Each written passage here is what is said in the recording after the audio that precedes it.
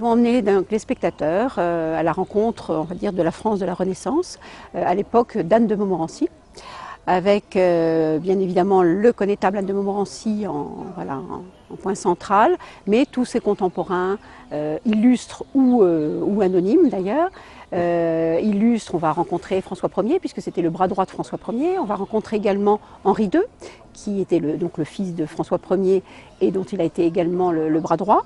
Euh, Diane de Poitiers, la maîtresse d'Henri II, Catherine de Médicis, euh, Également Léonard de Vinci qui est venu en France euh, à la demande, sur l'invitation de François Ier.